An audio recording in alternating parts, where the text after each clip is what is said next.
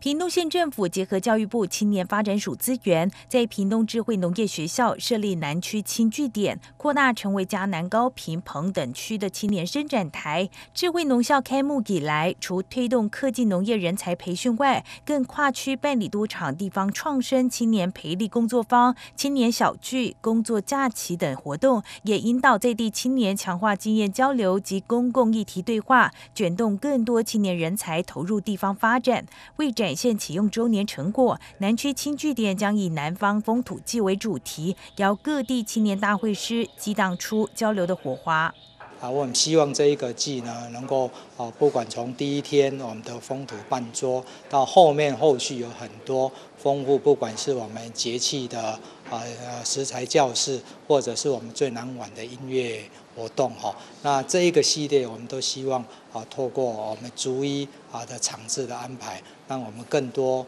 呃青年朋友能够理解我们屏东县政府，特别是在创生、在青年培力这一块我们的努力。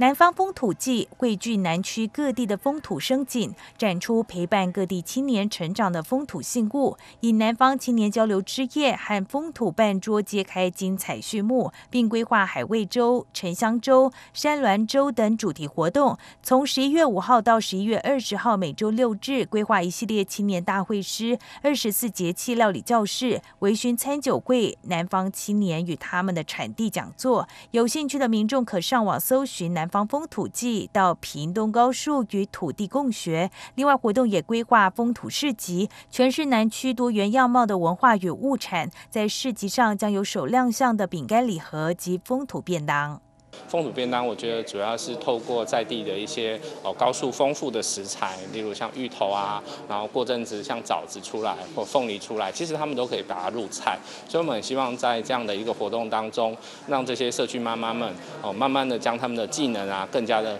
呃就是呃熟练之后，然后可以刚高速一些丰富的食材可以进入便当。南方风土季闭幕活动将由屏东九校高中职及大专院校热音社推出最难玩音乐节，以音乐震撼整个南区，用青春致敬这一抹南方风土，捕捉最难的活力与产地青年的生活风景。记者张如英、刘建荣采访报道。